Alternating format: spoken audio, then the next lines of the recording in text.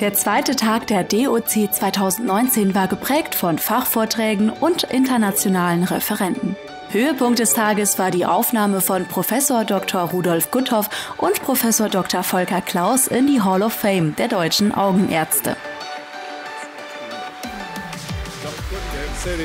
Mit der Wahl in die Hall of Fame wurde Professor Rudolf Gutthoff für sein lebenslanges Engagement und herausragende wissenschaftliche Leistungen mit über 400 Originalarbeiten geehrt. Bei all diesen konkreten, erfreulichen Dingen dürfen wir nicht vergessen, in welcher guten Zeit wir trotz aller täglichen schlechten Nachrichten leben. In Afrika heißt es, ein einzelner Baum, der umfällt, macht mehr Lärm als ein ganzer Wald, der wächst. Vielen Dank für Ihre Aufmerksamkeit. Professor Volker Klaus wurde für seine besonderen Verdienste in der internationalen Zusammenarbeit geehrt. Er hat sich über viele Jahre für die Ausbildung von Augenärzten in Uganda und Kenia engagiert. Von 1987 bis 2006 war Professor Klaus zudem Vorsitzender des Deutschen Komitees zur Verhütung von Blindheit.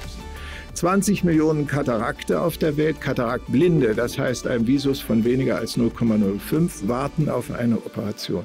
Wir können uns fragen, was können wir dazu beitragen? Nicht indem wir irgendwo hinfliegen, 50 Katarakte operieren, wieder nach Hause fliegen und keine Nachsorge gegeben ist. Diese Form äh, ist, also es, es geht im Grunde nur, wie erwähnt, in einer engen Kollaboration mit den lokalen Kollegen. Im Rahmen der Hauptsitzung wurden außerdem fünf Ehrenvorlesungen gehalten und ausgezeichnet.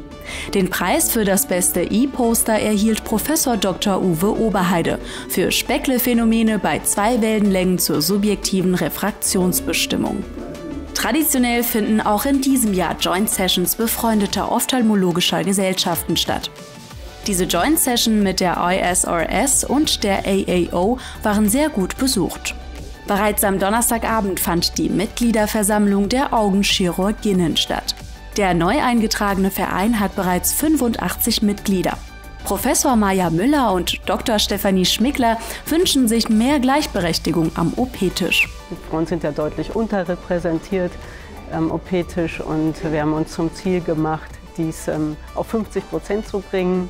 Ein ganz großes Thema ist ähm, Operieren in der Schwangerschaft. Aber wir haben eigentlich mit dem Augenchirurginnen auch ähm, erarbeitet, dass man als schwangere Frau operieren darf. Und ich glaube, das ist ein Punkt, ähm, den wir gerne bekannter machen möchten, dass das möglich ist. Ergänzt wurde das Tagesangebot durch Praxisseminare, die von der Industrie unterstützt werden.